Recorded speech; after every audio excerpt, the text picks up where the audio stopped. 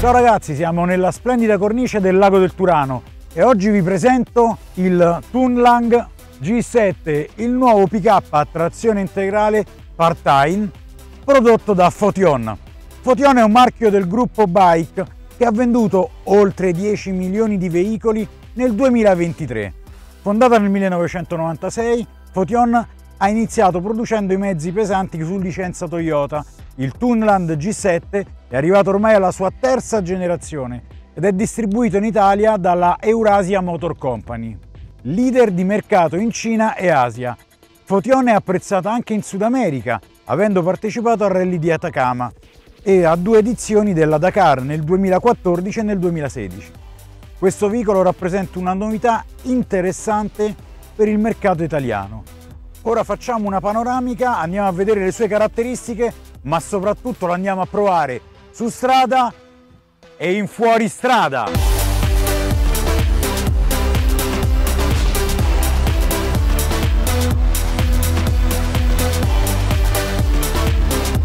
Prima di metterci alla guida diamo un'occhiata al Tunland G7. La prima cosa che colpisce è la sua struttura a longheroni, tipica dei veri track. Questo pick-up è lungo 5,34 m per 1,94 m di larghezza ed è alto 1,90 m con un passo di 3 m e 11 cm. Il suo peso complessivo è di 2080 kg. L'altezza minima da terra è di 23 cm all'anteriore ed è la stessa che troviamo sotto la boccia del differenziale posteriore. Il frontale è caratterizzato da una grande griglia che gli conferisce un aspetto robusto e aggressivo. Lateralmente presenta le classiche forme di un pick-up a doppia cabina. Dietro la cabina c'è un ampio cassone rivestito con vernice antigraffio. Le dimensioni del cassone sono 1,58 m di profondità in basso e 1,52 m in alto, con una larghezza di 1,58 m ma prima dei passaruota e 1,14 m tra questi. La portata varia tra gli 880 e i 900 kg, mentre la capacità di traino è di 3000 kg.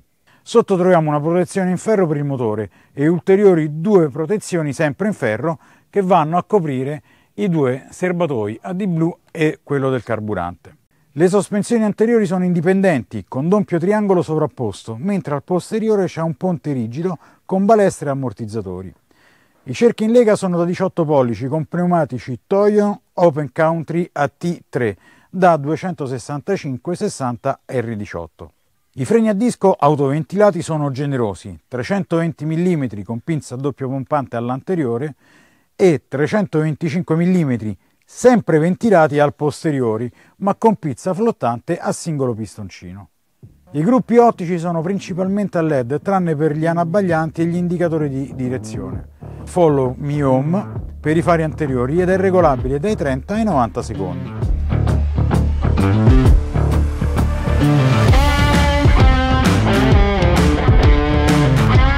Adesso diamo uno sguardo agli interni.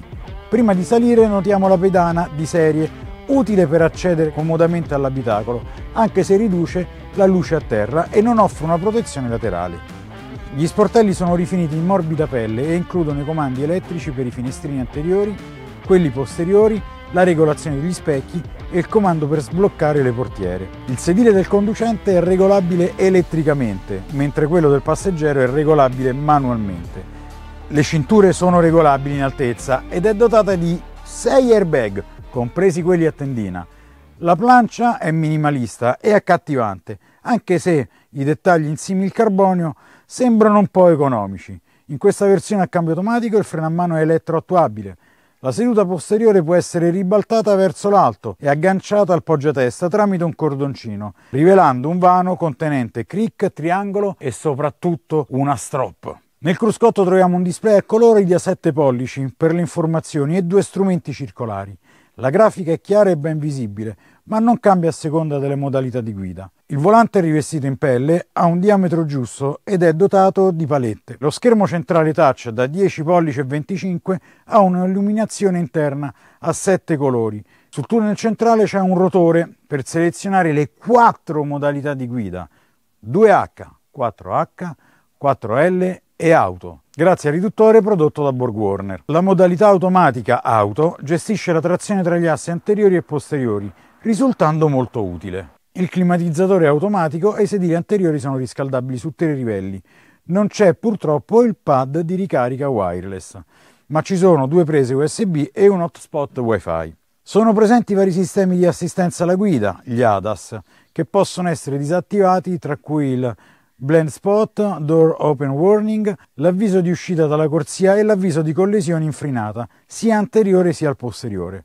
Non c'è il cruise control attivo, ma solo quello normale. Le telecamere a 360 gradi possono registrare su scheda SD. Sotto il cofano, che è dotato di pistoncini per mantenerlo alzato, troviamo l'aspirazione collocata a oltre un metro d'altezza. Il motore è un turbo diesel a 4 cilindri da 1968 cm3 con 162 cavalli a 4000 giri e 388 Nm di coppia tra i 1800 e i 2600 giri. Sviluppato in collaborazione con Riccardo, è omologato Euro 6 ed emette solo 235 grammi di CO2 e pesa 205 kg. Il motore è dotato di un turbo a geometria variabile prodotto da Borg Warner e un sistema EGR innovativo.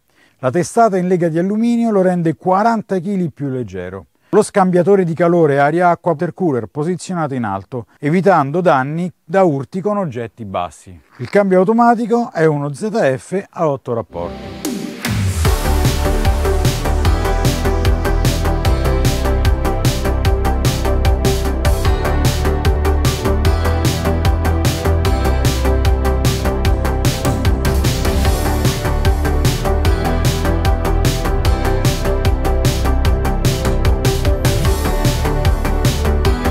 Guidando il Tunland G7 su un percorso misto, incluso anche l'autostrada, ho apprezzato la sua maneggevolezza, nonostante la sua mole, e il comfort grazie anche a una buona insonorizzazione del motore e l'ottima progressione del cambio ZF.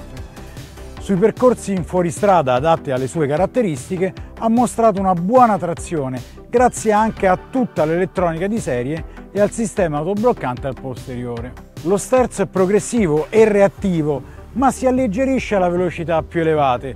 Le palette al volante poi, insolite per un pick-up, sono particolarmente non utili in fuoristrada. La visibilità all'anteriore è buona, grazie anche alla chiara visuale del cofano. Una cosa importante e molto interessante è il consumo. In modalità eco abbiamo riscontrato un consumo di 12 litri per 100 km, non vi spaventate, in fuoristrada, e in città tranquillamente su un ciclo misto possiamo attestarci intorno agli 8 litri per 100 km. La frenata richiede una pressione più energica nella prima parte del pedale, risultando leggermente spugnosa, ma è adeguata al pick-up.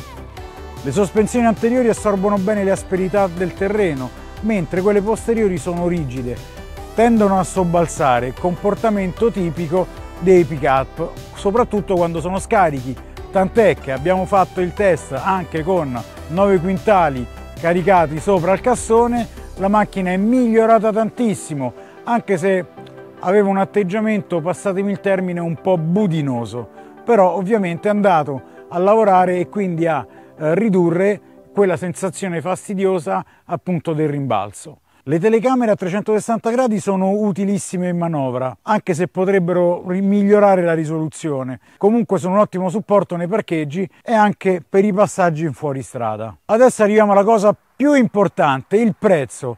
Questo Tundland G7 che abbiamo in prova ha un costo di 33.000 euro e scende a 31.000 per la versione a cambio manuale a 6 rapporti. Sono disponibili alcuni optional come il gancio traino, il roll bar, la serranda copricassone e l'hardtop. Questo mezzo è garantito per 3 anni o 100.000 km. Attualmente le officine e i concessionari sono 24, ma Eurasia Motorsport ha garantito che entro fine del 2024 arriveranno circa a 40, quindi non vi preoccupate sull'assistenza ai pezzi di ricambio. In conclusione, il test di guida di questo pick-up ha rivelato un mezzo robusto e versatile, adatto sia per l'uso quotidiano sia per le avventure in fuoristrada. La maneggevolezza in città è sorprendente, considerando le dimensioni, e il comfort di guida è veramente elevato. Su autostrada il motore mostra una buona progressione e il cambio automatico ZF a 8 rapporti offre cambi di marcia fluidi. In fuoristrada si comporta egregiamente grazie alle diverse modalità di guida e alla trazione integrale automatica. Inoltre il prezzo competitivo insieme alla garanzia di 3 anni o 100.000 km rende questo pick-up una scelta interessante per chi cerca un veicolo affidabile e performante.